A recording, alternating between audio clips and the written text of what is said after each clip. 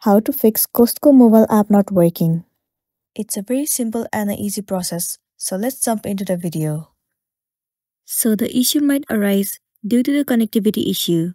In that case, what you want to do is, you have to check whether your internet connection is stable or not. So make sure that you are connected to the stable Wi-Fi. Once your connection is stable enough, the next thing you want to do is head over to your app store. Here in the source bar, search for Costco. Move into this app. Right here instead of open, if it shows the option of update, then your application is not up to date. And it might be one of the reasons that you are facing this issue. If that's the case, then tap on update and update your application to the latest version. Once you have the latest version of the app, the next thing you want to do is head over to the settings of a device. Move into General. Head over to iPhone Storage. In this page, search for the application Costco.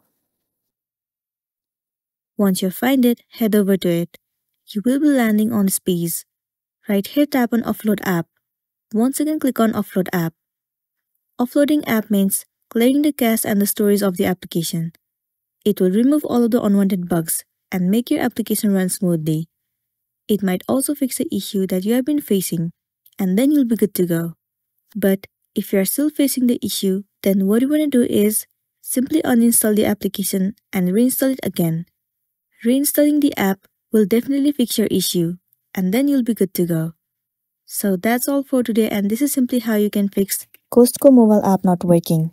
Make sure to smash the like button and consider subscribing if you found this video helpful. Thank you for watching it till the end.